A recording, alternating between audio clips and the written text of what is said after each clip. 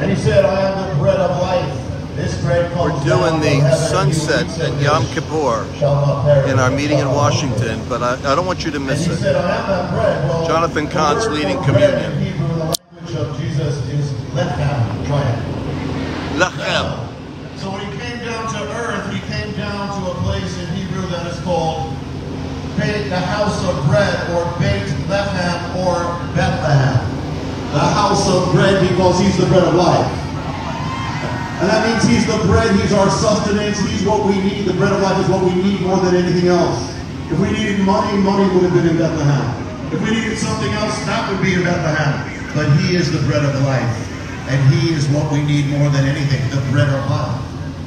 And then the cup, the symbol of the, from Passover, the wine, the fruit of the vine, the blood of the lamb, the blood of God, the mercy of God poured out, his life poured out for us. And it says that also in the Bible, this cup is the cup of joy as well. This is the mercy of God.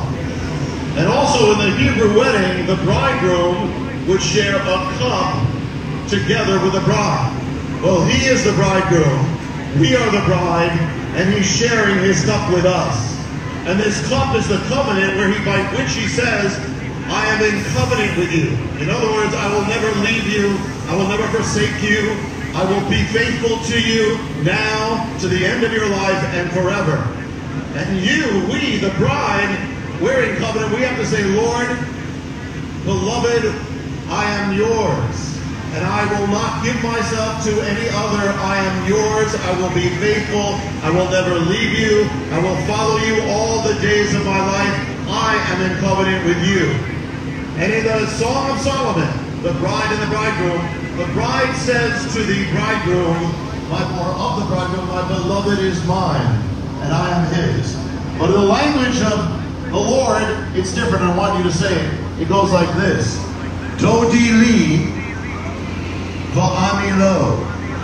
Let's say it together. Dodi li Dodi lo. My beloved is mine, and I am his. We're going to partake together, and we're going to do it exactly as he did it.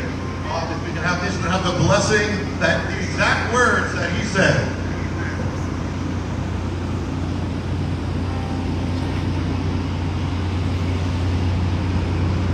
He lifted up the bread. And he said, as he said, this is my body given for you.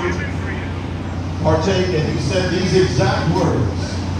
He said, Baruch Adonai, Melech haolam, hamotzi lechem min haaretz. Blessed are you, Lord, King of the universe, who brings forth bread from the earth. And he said, partake of it, all of you, the bread of life. Let us partake. What we're going to do. on the road to Emmaus. When he broke bread, their eyes were open. We're going to take bread today, and as Bill sings, we're going to go into a moment of silence. And I want you to meditate. Come on, help me. Meditate. That this is not just bread. This, in many ways, is a reception of his whole life more than a symbol, a sacrament of living bread to your soul. We're going to take this bread and believe for healing.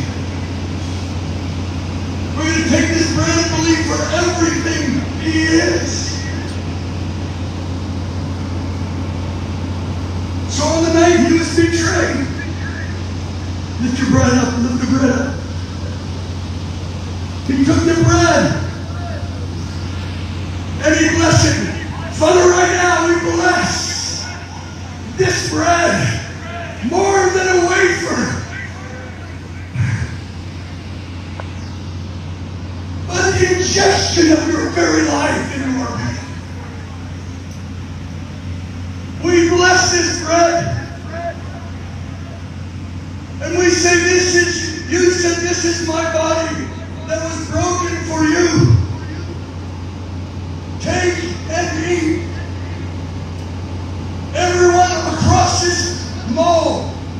look at the stage, eat of the bread of life right now.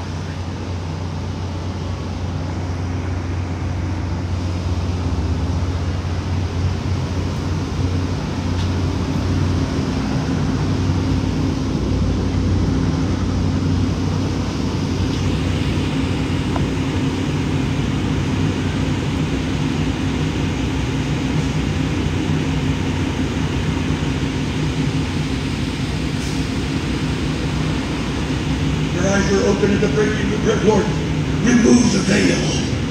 On the day of atonement, you're removing of the veil right here. The veil over our eyes. The veil over America.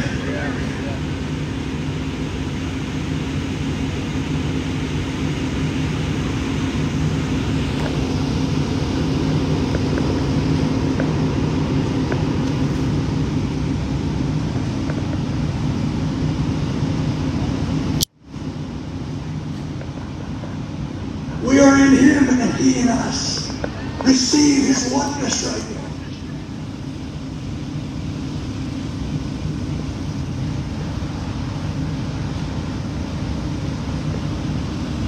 Right now, release an encounter all over this mall.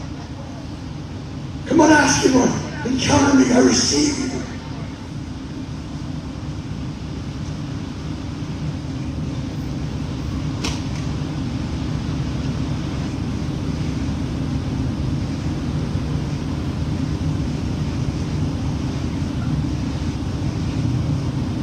Don't look at the stage. Behold the Lamb.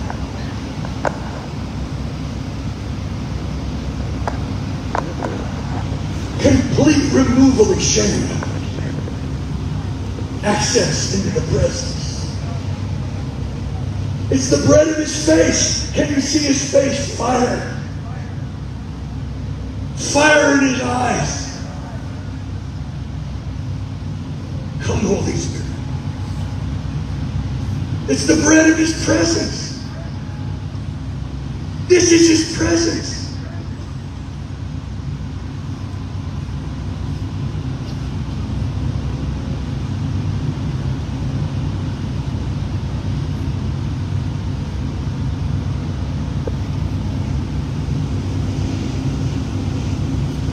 You feel like weeping, just begin to turn it loose.